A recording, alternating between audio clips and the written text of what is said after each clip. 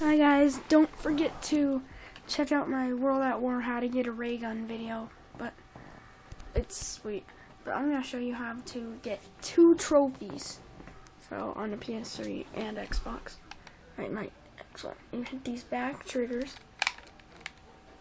Get out of the chair, you'll get a trophy for that.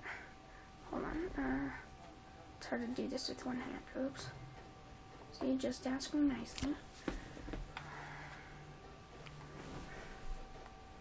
Let me go to the computer.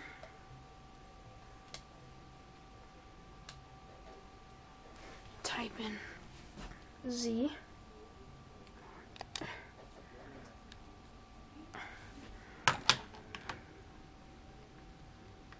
O. R.